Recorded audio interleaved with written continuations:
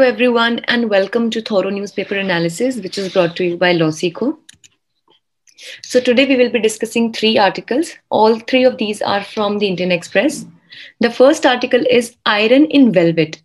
So, the name is very interesting, and it basically talks about that something that looks as soft as velvet, but it is actually as hard as well uh, iron uh, under the uh, shield of or under the name of velvet basically this talks about the new uh, initiatives that have that have been taken by kerala government for actually curbing down the um, because it has been criticized that it has it is actually curbing down the freedom of speech and expression.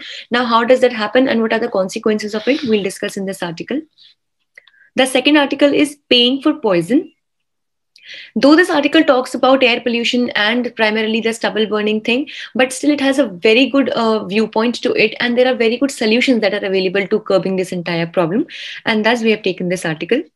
And thirdly, water bomb in the Himalayas. This basically talks about the overflooding of the dams or the overburdening of the dams, which are specifically in the Himalayan region, both on the Indian side as well as on the Chinese China's side, and what are the consequences of it, and what are the probable solutions that can be done to this issue have been discussed in this article. And fourthly, we have the news in flash column wherein we'll be discussing the small and pointed news articles that are more important for a prelims exam. So if you are also preparing for judicial services exam, you can definitely have a look at the Law LawSikho course that we have for you. So we have the lot of the courses, which is the judiciary test prep course. It is a very nice course in which you can definitely have a look uh, to it and can also enroll yourself into it. The link is there in the description box, and you can also download free study material from it and uh, from the very landing page of this very. So let's see that what is the multiple choice question for the day. UN or the United Nations Population Award in the individual category for 2020 is awarded to first Gyalyum Sangay Choden Wangchuk, second Mary Kom, third Medha Patkar, or fourth Aung San Suu Kyi. So if you know the answer, you can put it down in the comment section below. So this is the descriptive question for the day. Kerala Police Act amendment is an attack on free speech. Critically analyze. Please note that whenever there is a statement given and then later on we have this word critically attached to it, that critically comment, critically discuss, critically analyze. It basically means that you have to discuss both in the favor as well as the against in the against of this given statement. So please don't get emotional. Uh, we should not get emotional into writing just the drawbacks about a particular given statement, and we should be discussing both the pros as well as cons about it. With this, let's begin with the first article for the day. So this article talks about the regulation of social media posts. So recently, as we know that the Kerala governor has recently signed the Kerala Police Act. So basically it is now officially become an act now. And this is the Kerala Police uh, Act Amendment Ordinance. So this actually would make allegedly threatening, abusive and humiliating social media posts punishable. Now, one thing that we need to see here is threatening, abusive, humiliating. Though uh, specific words have been given, but the meaning and scope of these words and the understanding of these words can be very broad and can also be misinterpreted many a times. Keeping this in mind, people and also uh, many activists who actually are a, a lot into a favor of the freedom of speech and expression, which is also our fundamental right, they claim that basically this article would now this act would now give the police of kerala state very uh, you know unchecked powers to actually bring down any uh, person who would even you know just like for example we have the right to fair criticism. If at all we are telling about some truth if at all we are doing some kind of criticism but it is for the public good or the public um, welfare so it is not something that is considered to be threatening, abusive, humiliating, defamatory for that matter. But in this case, there is a chance that even a social media post that might not be really uh, that might not have been done with this particular intention but still this can be misused by the kerala police so firstly as we know that it is it is considered to be a move to encroach the free speech and uh, free speech of individuals and of, uh, and also the individual liberties of the people and secondly, it arrogate more power to the executive to regulate and restrict. So basically, it means it gives a lot of power, which can be an unchecked power to the executive to regulate and to restrict this entire situation. So there are enough provisions in IPC to address such violations. So basically, the major contentions that the activists and the other people are giving in this regard is that even in the Indian Penal Code, we have appropriate uh, sections and appropriate provisions wherein, if at all, some social media post also, or any kind of uh, contention, any kind of speech for that matter, is threatening, abusive, or humiliating, it can definitely be punished even under IPC. Like, for example, we have the provision for uh, defamation in 499. Then we have various provisions for hate speeches and for spreading hate, uh, hate communal violence, etc. And for that matter, there was no uh, such uh, requirement uh, in the real sense to have this uh, Kerala Police Act in the separate sense. So let's understand that what has been the outlook of the courts in India on these types of laws which, uh, which have come every now and then. So as we know that in the case of Shreya Singhal versus Union of India, which is a landmark case when it comes to IT Act as well as freedom of speech and expression as a fundamental right in India. So in this case, in the year 2015, the Supreme Court had struck down Section 66A of the uh, Information and Technology Act 2000. So we all know about that because this section 66A gave the government power to arrest and imprison an individual for allegedly offensive online posts. Now let's understand one situation that at one side where we argue that uh, uh, you know right to internet is a very important right as it, it is a very important right for forming a part of right to information freedom of speech and expression and also right to education as well. Now in such a scenario if we consider the outreach or the potential that the social media has in the current sense if we would like to criticize or we would like to seize the people uh, from using such social media sites or expressing their uh, viewpoints in a very generous and also in a very honest manner then definitely this is a very dubious uh, character of our uh, this would be a very dubious character if uh, at all we would say because at one side we are providing them freedom of speech and expression but on the other hand the very platform which is very crucial for using or utilizing or exercising this right of, of freedom of speech and expression if we're not even able to provide them with this platform in a free sense, then obviously this uh, law or this uh, fundamental right can never be exercised in the practical sense. And that is why, since Section 66A of the IT Act also had put a lot of restrictions on the uh, use of the social media and the online posts, so that is why it was struck down. And then this uh, very case had also struck down section 118D of the Kerala Police Act, which actually prescribed jail uh, for indecent statements, comments, etc. So a term of jail, a ter jail term for actually any kind of indecent statements, comments, etc. And that is why uh, people in a way were given greater freedom to exercise their freedom of speech and expression. So that is why um, we should understand that it is very essential for us to draw this very thin line and to understand and realize this very thin line where uh, actually there can be an abusive use of a fundamental right and where actually we need or what actually do we need to uh, practically use that fundamental right. And maybe such laws that give such sweeping powers to just one kind of uh, or one part of the government is definitely not really uh, called for and that is why it has been hugely criticized with this, let's discuss the second article for the day, which talks about the air pollution, specifically in the area of Delhi and in Indo-Gangetic Plain. Now, if we talk about Delhi, we all know that it is the capital city, obviously, of India. And for if we talk about the Indo-Gangetic Plain, so this majorly is the area wherever this the major uh, the one of the most important rivers of the country, Ganga, actually flows. So this entire plain soil of alluvial, alluvial area where a lot of people, a huge population resides in this area. So this entire area is known as the Indo-Gangetic Plain. So as we know that in winters there are a few symptoms there are there are a few uh, basically reasons due to which the pollution tends to be tends to increase a lot. Now what are those reasons? Firstly the wind slows down because obviously see we have the summer season then we have the monsoon season and then we have our winter season. So when we have the summer as well and even in the monsoon season the position of our uh, country uh, on the globe is as such that in the summer and in the monsoon season we have considerable uh, winds flowing. Like there are different kinds of winds. They flow from different directions. They move towards different different directions but still we have some kinds of winds.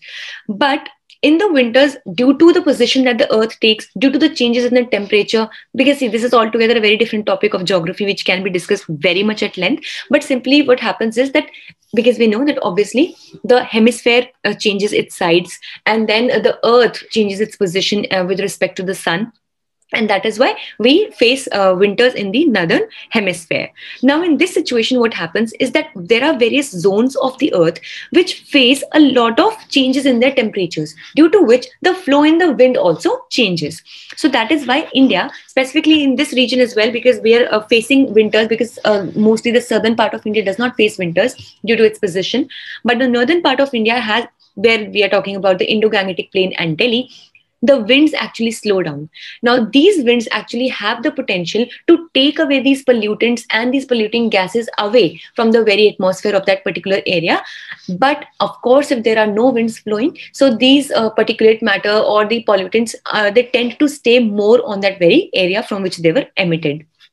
Then, secondly, the temperature drops. Now, what can be the consequences of the dropping temperature on the increase of pollution? I'll give you a very simple and very, you know, understandable example. Like if you pour a glass uh, of water, some some amount of water in glass, and which is a which is very cold water, like chilled water in some particular glass. So you must you might be able to notice that just within a few seconds, the outer layer of the glass, like the outer part or the outer side of the glass from where we actually hold it, it actually tends to have moisture content on it. There are small droplets of water that actually condense, they cool down, and they uh, actually you know they change into water. So this is a very simple procedure. What happens is that when the cold water touches the surface of the glass, so the glass is in contact with the air outside uh, uh, of, it, of its surface. And obviously air has water vapors, but these vapors are in the gaseous state. But of course, we know that if we cool down the gas, then it actually condenses and comes into the liquid state. And that is why we have these small droplets of water. This shows that lowering down of the temperature actually causes a particular thing to condensate. Like for example, we have some water, we put it into the freezer, what we have in hand is the ice. So that is why this water which was in liquid state becomes solid, it, it con condensates when it is uh, subjected to lower temperatures. Now, in this situation, also what happens is that the uh, pollutants which are there in the air, so earlier, due to the high temperature in the summer season, they're basically suspended at faraway places. So, for example, let's say that uh, one particle, this is just an example, they're actually very, very close even in summertime, but just for your example, for your understanding, one pollutant in the summer season is, for example, uh, one foot away from the other, one foot away from the other pollutant, for example. But now what happens is when they feel cold, because in the cold, uh, in the winter season, the temperature uh, decreases. When they feel cold, uh, they uh, tend to come together. And for example, let's say that this distance of one foot decreases to even less than uh, half a foot or even less than that. So this is how the uh, particulate matter or the you know the pollutants that tend to come together they condensate and they actually give a more impact or they give they actually lay down more negative impact on the health and the quality of the air. Now the why, the reason why i'm dealing with each of these things uh, very much into detail is that this is the very reason why we have picked up this article as to what is the changing effect on the air pollution when the winters actually rise in any area and then uh, this we know that the suspended particulate matter will accumulate just as we discussed. So the people in uh, delhi and indo-gangetic plains are being affected largely. Now that is why this is the time when we are uh, more prone towards uh, being subjected to this harmful air for our breathing and other purposes as well so as we know that what are the main reasons? Stubble burning, as we all know that in the states of Haryana, uh, Punjab and Uttar Pradesh, there is this huge problem of stubble burning and due to the location of Delhi, because it is in the center of, of all the three states and also due to the position, the movement or the direction of the winds, all of this pollution or all of the all of these pollutants are accumulated over the air of Delhi then the very next reason here is given a very nice and very uh, substantial reason is atmospheric ammonia. Now what happens is that from fertilizers animal husbandry and agricultural practices a lot of ammonia moves into the atmosphere and gets accumulated in the form of pollutants. Then it combines with emissions from power plants transportation and fossil fuel burning to form fine particles this is why. What happens is like i'll give you a very uh, easy example. For example uh, you have a, a, field and then you are uh, spreading or you're throwing some uh, neem coated urea uh, into that field.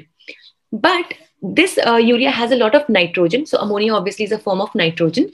So uh, but not all the nitrogen of this uh, neem coated urea or the urea is absorbed by the plant and a lot of it actually gets evaporated into the atmosphere.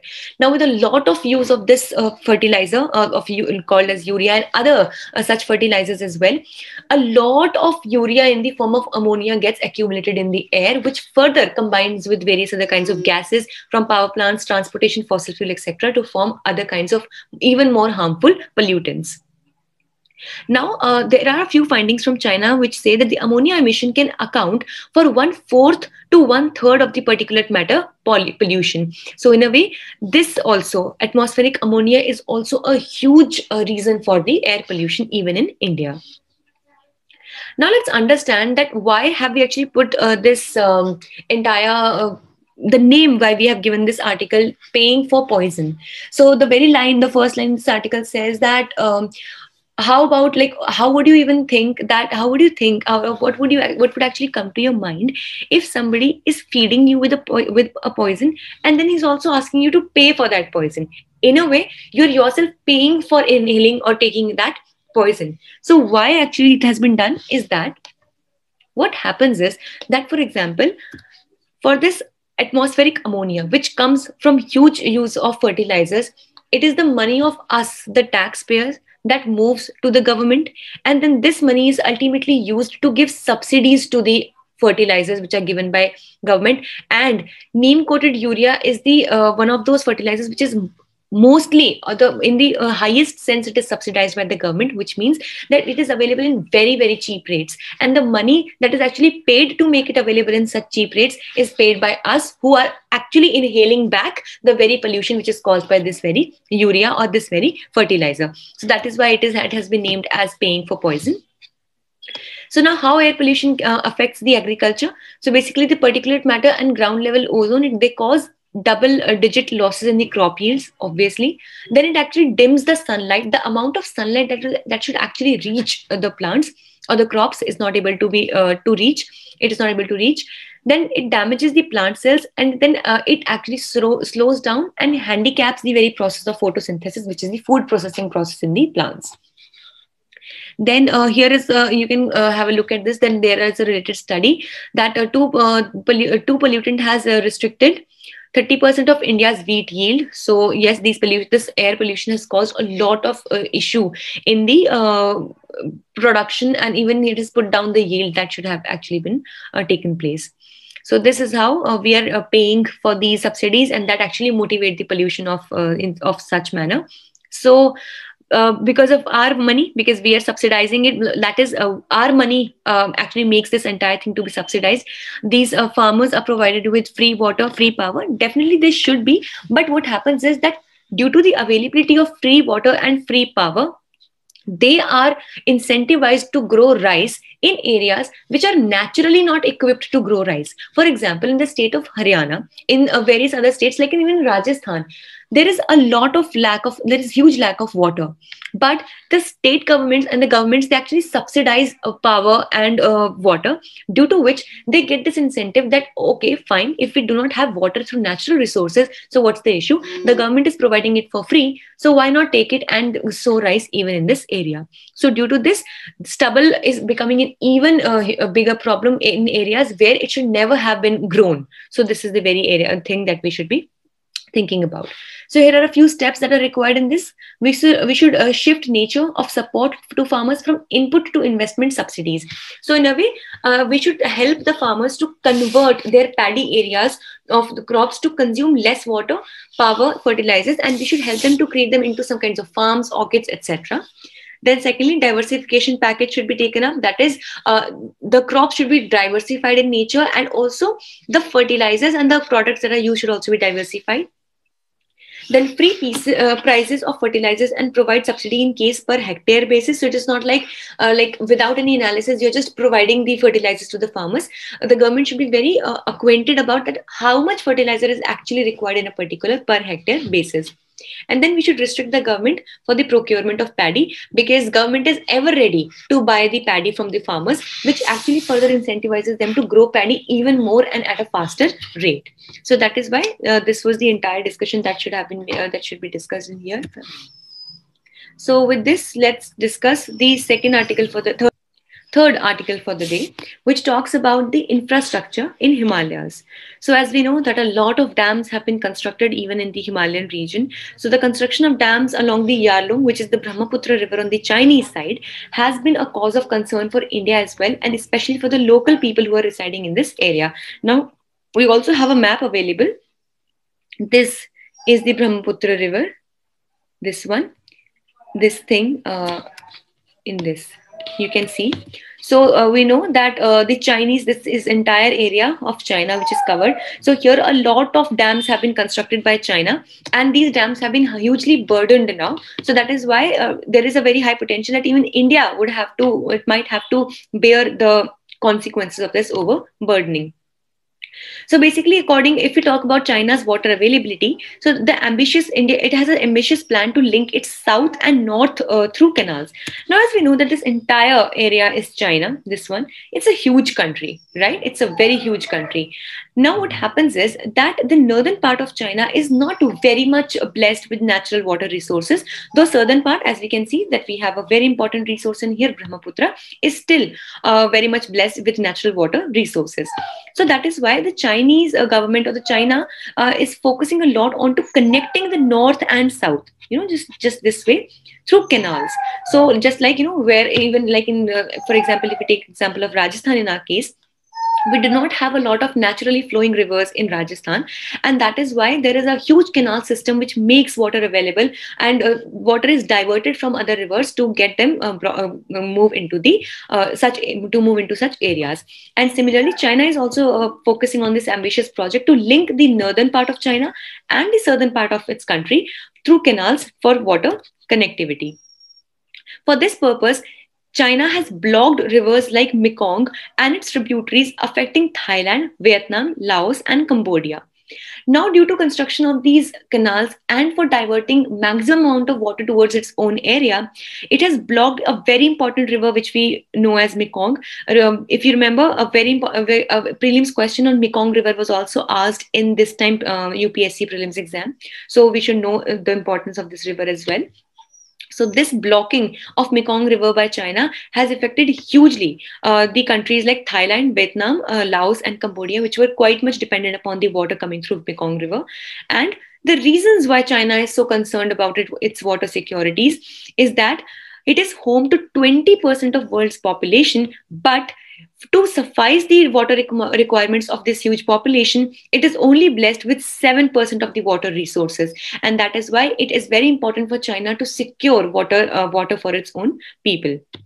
And then the southern region is uh, comparatively water rich, but the northern region is not that rich in, the, in this context. So here, if we talk about the Brahmaputra River uh, information, it, it actually created two floods annually. And the main reasons for this is melting of the Himalayas. Of course, the Himalayan snow in the summers and also the monsoon flows because there are huge uh, heavy rains that actually cause the dams also to overflow and to break down many a times. Uh, there is a huge tendency to uh, for that to happen. Then the frequency of floods are increased due to the climate change and impact on high and low flows, as we all know about it. And it is a concern for the population and food security in India and Bangladesh as well, because uh, we're all connected from uh, with China.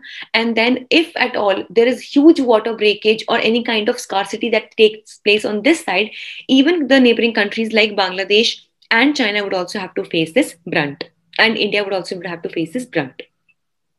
So here are a few, a lot of challenges that are actually faced due to the construction of dams. Firstly, degradation of the entire Brahmaputra basin. Of course, that is the very reason why a lot of environment uh, activists are very much and there are so much of us against uh, the construction of dams just like we had in india narmada bachao andolan which actually said that it is deteriorating the entire river basin and the entire ecosystem of that area Secondly, Brahmaputra basin is one of the world's most ecologically sensitive basin and By basin, we simply mean the areas through which any river flows. So all the adjoining parts of that area that actually depend on that river water are called that is that that entire geographical area is known as that basin. So we have the Ganga basin, we have the Brahmaputra basin. So so that it goes that way. So it is uh, one of the world's most ecologically sensitive basin, and it is identified as one of the world's 34 biological hotspots. Then, as we know, Kaziranga National Park in Assam is also a part of the Brahmaputra River Basin and it houses 15 threatened species, of which one we all know about is the one horned rhinoceros. And thirdly, the location post is a risk. So Himalayas are most vulnerable to earthquakes and seismic activity. Now, uh, thanks to mother earth for this. What do we say? That the very location and basically the very reason why himalayas was formed because two very important tectonic plates actually meet uh, at the very area where himalayas are currently in the present day situated. And we know that wherever there is the, the joining as in there is this uh, coming together of the tectonic plates or there is this friction going on in the tectonic plates these areas are highly sensitive for earthquakes as well. That is why the entire northern line of India, as in uh, from uh, Jammu Kashmir to Himachal, Uttarakhand, and the upper parts of uh, Nepal, uh, and uh, Sikkim and all these areas, including China as well, that all the places that have uh, Himalayas in hand, so they are all very much prone and vulnerable to earthquakes and seismic activities as well. So here there is a short description about the India about India's water availability as well. So we have 17% of the world's population as we are the second most populous country in the world after China and we have only 4% of water. So China still has 7% of water, but we must be even more concerned about our water security because we have only 4% of the entire uh, water resources of the world and in summers majority of urban areas face water shortage as we know all of all of us know about it. And then southern and western regions experience harsh and dry summers and that is why water resources many a times they dry up. And like china india too has an ambitious north south river linking project. Now here are a few solutions that have been provided alternative solutions that have been that have been provided for both india and china. Firstly building a decentralized network of check dams rain capturing lakes that can actually capture fresh water that uh, whenever the in the monsoon season whenever the monsoon season occurs we can have a huge storage of water and just like you know rainwater far- harvesting. And thirdly using traditional means of water capture. Just like you know just i just said uh, the rainwater harvesting thing. So this was all for the major articles for the day. Let's see what do we have for uh, the news in flash. Firstly china to launch a moon probe mission Chang'e 5 will be an uncrewed spacecraft. So the name of this mission should be kept in mind. Uh, it will be to bring lunar rocks and soil. Lunar, that means the rocks that are there on the moon. If successful, it would be the first time that any country has retrieved, that is brought samples from the moon in more than 40 years. Secondly, parliamentary panel bats for laws to counter bioterrorism to ensure security against biological uh, weapons that is bioterrorism. It includes so this term as to what do we mean by bioterrorism should also be clear. So it is uh, by the um, by means of some biological weapons which includes strengthening disease surveillance at animal human interface training and capacity building for management of public health emerging from use of bioweapons and strengthening research and surveillance has been done. Thirdly honor for bhutan's queen mother so Gyalyum Sangay Choden Wangchuk, yes, it's a long name. He has been awarded the UN Population Award in the individual category of for 2020 for her work on sexual health and ending gender violence. So only two Indians have been awarded in the past four decades since its establishment in 1981 so it was the first former uh, it was the first uh, woman prime minister of india former prime minister indira gandhi and industrialist philanthropist jrd Tata. So these names also should be kept in mind. So this was all for today. We hope it was a good session for you. Thank you so much.